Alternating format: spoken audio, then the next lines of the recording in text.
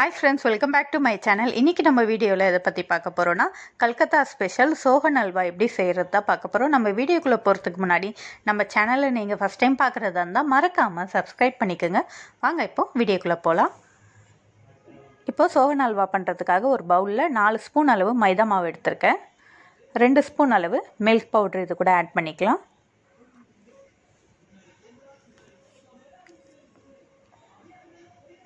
இப்போ இதை நல்லா மிக்ஸ் பண்ணி விட்டுருக்கேன்.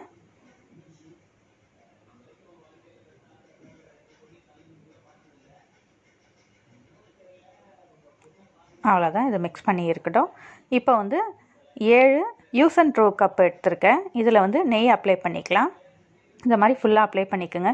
ஏன் use and throw cup use பண்ணுறோன்னா ஈஸியாக வந்து நம்ம ரிமூவ் பண்ண முடியும். முதல்ல இதெல்லாம் ரெடி பண்ணிட்டு தான் அல்வா செய்யவே ஆரம்பிக்கணும். ஏன்னா அல்வா பண்ணதும் உடனே இதுக்கு ட்ரான்ஸ்ஃபர் பண்ணிடணும். அதுக்காக. இதே மாதிரி எல்லாத்துலேயும் நெய் தடவியாச்சு.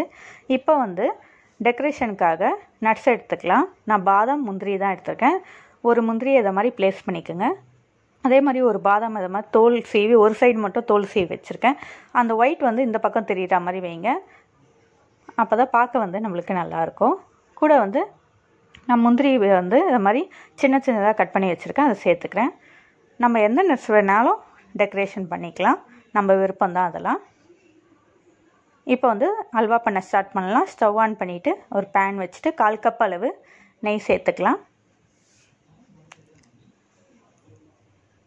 நம்ம எந்த கப்பில் வந்து நெய் எடுக்கிறோமோ அதில் ஒரு கப் அளவு சர்க்கரை எடுத்துக்கணும். இதுதான் ரேஷியோ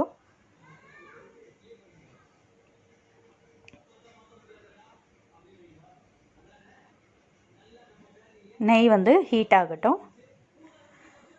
ஸ்டவ் வந்து மீடியம்லேயே வச்சுட்டு பண்ணுங்கள் இப்போது இது கூட வந்து சர்க்கரை சேர்த்துக்கலாம். நான் ஒரு கப் அளவு சர்க்கரை எடுத்திருக்கேன். நீங்கள் எந்த கப்பில் நெய் எடுக்கிறீங்களோ அதே கப்பில் சர்க்கரை எடுத்துக்கோங்க. இப்போ இதெல்லாம் மிக்ஸ் பண்ணி விடலாம். சுகர் நல்லா மெல்ட் ஆகணும்.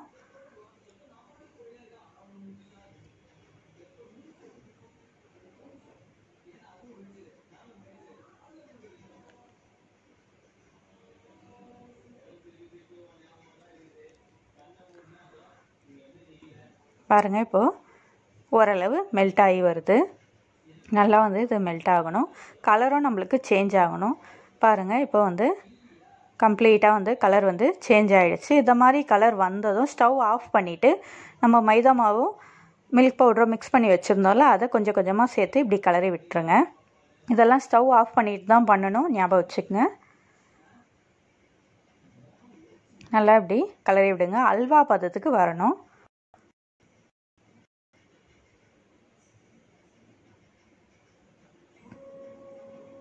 நல்லா இதை இப்படி மிக்ஸ் பண்ணி விடுங்க. கொஞ்சம் கலரை வந்து கஷ்டமாக தான் இருக்கும். ஆனால் ரொம்ப வந்து கஷ்டம்லாம் சொல்ல முடியாது. நம்ம கலர்ற மாதிரி தான் இருக்கும். அந்த கட்டிகள்லாம் இல்லாமல் நல்லா கிளறி விடுங்க.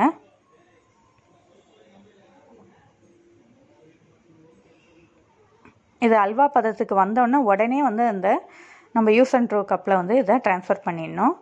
பாருங்கள் இப்போ நம்மளுக்கு அல்வா பதம் வந்துருச்சு. இப்படி விட்டால் ரிப்பன் மாதிரி வருது பாருங்கள் இப்போ உடனே வந்து நம்ம அந்த கப்பில் இதை மாற்றிடணும் இல்லைன்னா வந்து கெட்டி ஆகிடும்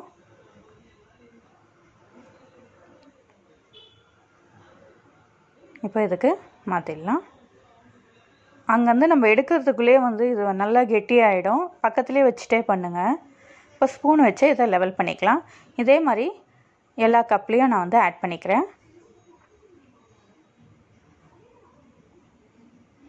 இப்போ ஸ்பூனை வச்சு இப்படி லெவல் பண்ணி விடுங்க. ஒரு டென் டு ஃபிஃப்டீன் மினிட்ஸ் வந்து இது ஃபேன் காற்றுலேயே ஆற வைக்கலாம். நல்லா செட் ஆகிடுச்சு பாருங்கள் இப்போவே. அவ்வளோதான் இதை வந்து ஃபேன் காற்றுல ஆற வச்சிடலாம். இப்போ ஃபிஃப்டீன் மினிட்ஸ் ஆகிடுச்சு ஒரு சிசர் வச்சு இதை கட் பண்ணிடலாம். நீங்கள் யூஸ் அண்ட் த்ரோ கப்பு வேணான்னு நினச்சிங்கன்னா சின்ன வந்து கிண்ணத்தில் கூட நீங்கள் அதை மாதிரி பண்ணிக்கலாம். பாருங்கள் ஈஸியாக வந்து எடுக்க வந்துச்சு பாருங்கள் அவ்வளோதான் நம்மளுக்கு சூப்பராக சோகன் அல்வா ரெடி ஆயிடுச்சு. இது கல்கத்தாவில் ரொம்பவே ஃபேமஸ்ஸு இப்போ நம்ம இங்கெல்லாம் வாங்கினோன்னா ரேட் அதிகமாக இருக்கும். எயிட் ஹண்ட்ரட் நைன் ஹண்ட்ரடுக்கு விற்பாங்க. இது ஈஸியாக நம்ம வீட்டிலேயே செஞ்சிடலாம். குழந்தைங்களுக்கும் வந்து ரொம்பவே பிடிக்கும். இது டேஸ்ட் வந்து லாக்டோ கிங் சாக்லேட் மாதிரியே இருக்கும் டேஸ்ட்டு ரொம்பவே வந்து நல்லாயிருக்கும் ஆனால் கொஞ்சம் ஹார்டாக இருக்கும். மற்றபடி வந்து ரொம்பவே வந்து டேஸ்ட்டாகவும் நல்லாவும் இருக்கும். ஈஸியாக வந்து இந்த வீட்டிலேயே நம்ம செஞ்சிடலாம். இதை மறக்காமல் உங்கள் வீட்டில் செஞ்சு பார்த்துட்டு எப்படி இருக்குன்னு கமெண்ட் செக்ஷனில் கமெண்ட் பண்ணுங்கள் வீடியோ பிடிச்சிருந்தா லைக் பண்ணுங்கள் ஷேர் பண்ணுங்கள் சப்ஸ்கிரைப் பண்ணிக்கோங்க.